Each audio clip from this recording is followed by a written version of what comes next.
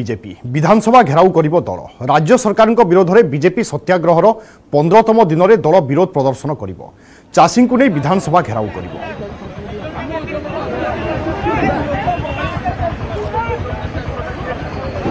চাষী আজ রাজরাস্তাকে ওহ্লাইছি বিধানসভা ভিতরে মধ্যে আমি কথাকে উঠেইছু কিন্তু রাজ্য সরকার এটি শুণবা প্রস্তুত নহান্তি চাষীর ଚାଷୀର ସମସ୍ୟାର ସମାଧାନ କରିବା ପାଇଁ ଆନ୍ତରିକତା ନାହିଁ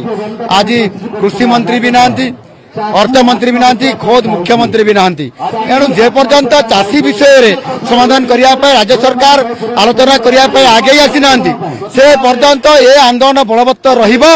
ଆଗାମୀ ଦିନରେ ମଧ୍ୟ ଏ ଆନ୍ଦୋଳନ ଚାଲୁ ରହିବ ବିଧାନସଭା ଭିତରେ ମଧ୍ୟ ବାହାରେ ମଧ୍ୟ ଆମେ କେବେ ହେଲେ ଚାଷୀର ସମସ୍ୟାର ସମାଧାନ ଯେପର୍ଯ୍ୟନ୍ତ ନ ହେଇଛି ଆମେ ଏଭଳି ଭାବରେ ଆନ୍ଦୋଳନକୁ ଆଗାମୀ ଦିନରେ ଦୃଢ଼ ଭାବରେ ପୁଣି ଆଉ ଥରେ ଆଲୋଚନାକୁ ଆମେ ଆସିବୁ ୟୁକ୍ରେନ୍